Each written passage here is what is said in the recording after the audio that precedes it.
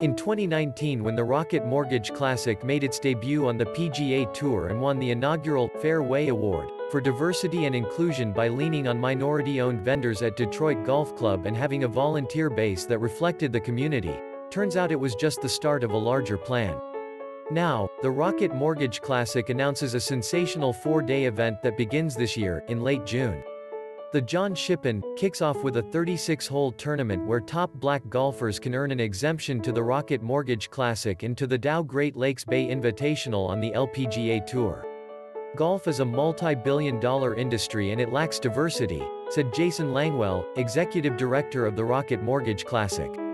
We're building a platform, two events that show up on the intersection of diversity, inclusion and golf. We're not only excited about that, we're also excited to use the event to shine a light on the legacy and great untold story of John Shippen Jr. Named in his honor, the John Shippen concludes with a two-day sports business summit that offers paid internships and scholarships for students of color. Shippen was the first black to play in the U.S. Open in 1896 at Shinnecock Hills and the first American-born golf professional. He tied for fifth, matching his best finish in his six U.S. Open appearances. Shippen worked as a caddy at Shinnecock Hills Golf Club in Southampton, New York, and as the golf professional at the Maidstone Club in East Hampton, New York and at Aronimink Golf Club near Philadelphia.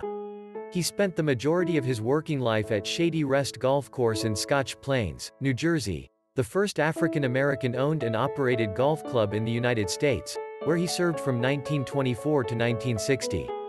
Shippen afterward worked as the club's head pro until he retired in 1960. The John Shippen Memorial Golf Foundation, founded in 1995 by Thurman and Ruby Simmons in Scotch Plains, New Jersey, preserves the memory of John Shippen. The couple began studying his legacy in 1988 and have spent decades elevating Shippen's name and recognizing his place in American history. In addition to funding paid internship and scholarship opportunities, a portion of the proceeds from the John Shippen will be donated to the John Shippen Memorial Golf Foundation.